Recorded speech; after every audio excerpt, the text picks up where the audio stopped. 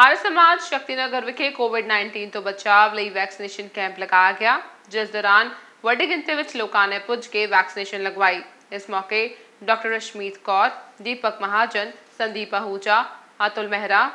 ਧਰਮਵੀਰ ਵਿਕਾਸ ਮਹਿਰਾ ਸਮੇਤ ਵੱਡੀ ਗਿਣਤੀ ਵਿੱਚ ਲੋਕ ਮੌਜੂਦ ਸਨ ਅਤੇ ਉਹਨਾਂ ਨੇ ਲੋਕਾਂ ਨੂੰ ਕੋਰੋਨਾ ਵਾਇਰਸ ਤੋਂ ਬਚਾਅ ਲਈ ਕੋਵਿਡ ਵੈਕਸੀਨ ਲਗਵਾਉਣ ਦੀ ਅਪੀਲ ਕੀਤੀ ਆਰਯ ਸਮਾਜ ਸ਼ਕਤੀ ਨਗਰ ਅੰਮ੍ਰਿਤਸਰ ਦੇ ਵਿੱਚ